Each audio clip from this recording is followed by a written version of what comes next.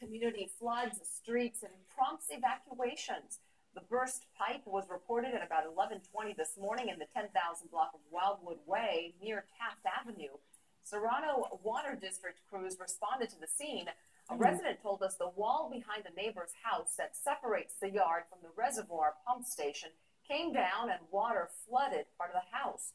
An hmm. elderly woman was evacuated. Other family members got out on their own. No word yet on the extent of the damage. Rain or shine.